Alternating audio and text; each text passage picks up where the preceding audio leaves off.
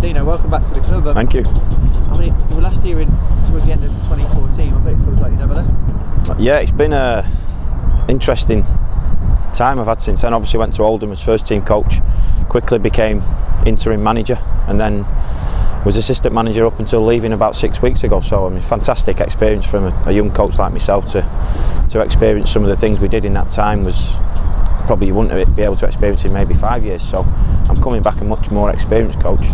um, I probably wouldn't have been able to experience them types of things had I stayed here. So um, it was a difficult decision to leave, as I said at the time. To, to hang my boots up when you love playing the game is difficult, but I just felt at the time it was it was the right decision, you know, to get into a first team environment. Um, and I found myself back here, so I'm obviously very to say I was happy would be an understatement.